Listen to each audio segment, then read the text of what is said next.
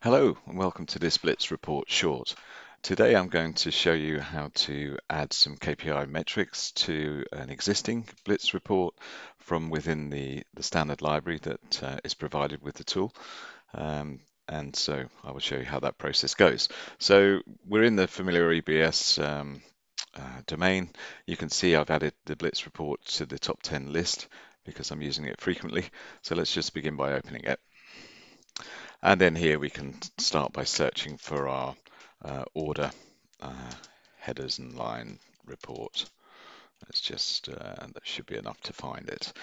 Okay, so here we've got our standard parameters um, that we've uh, added to this report. Uh, if we go into the setup, uh, we can see that the simple SQL has been provided here on the left hand side. Uh, as a developer, you will see this. As a user, obviously this would be hidden.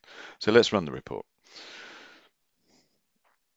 This will send the output directly to uh, Excel. You can add, uh, as I said before, you can add parameters at this point. So for example, it could be that you wanted to only see closed lines and then run the report.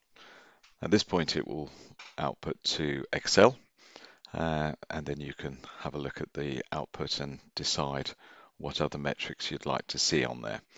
So it's just opening Excel now.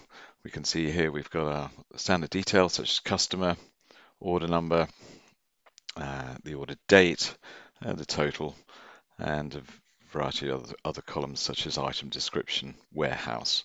Over here we can see our scheduled arrival date and we can see our actual ship date but we'd really like to be able to um, see whether this was you know, typically on time, uh, what the warehouse performance was, and whether they shipped in full. Uh, so we can close this and go back to our Blitz development front end. I'll just close this and go into here. I'm going to go into the setup of the report, into the editor, and I'm going to add after the shipment date uh, you can see here we've got the scheduled arrival date or the SAD date. And then here I'm going to add our KPI metrics.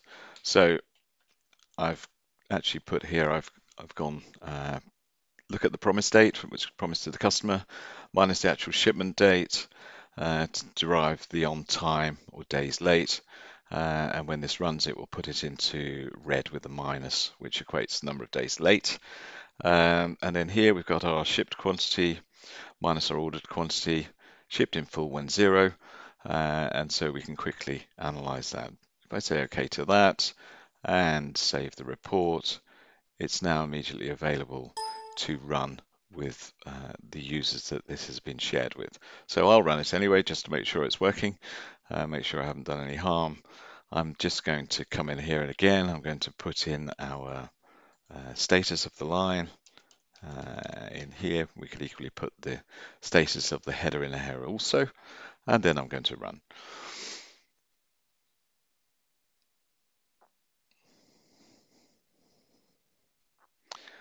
So that was the end of the uh, development cycle. As you can see here, we've got uh, our number of days late, and we can see here we've got uh, whether or not it was shipped in full. And that concludes the Blitz demonstration. Obviously, we can show you more for your particular application, um, and why not come and join us at the Open World uh, in London on the 12th and 13th. Thank you. Goodbye.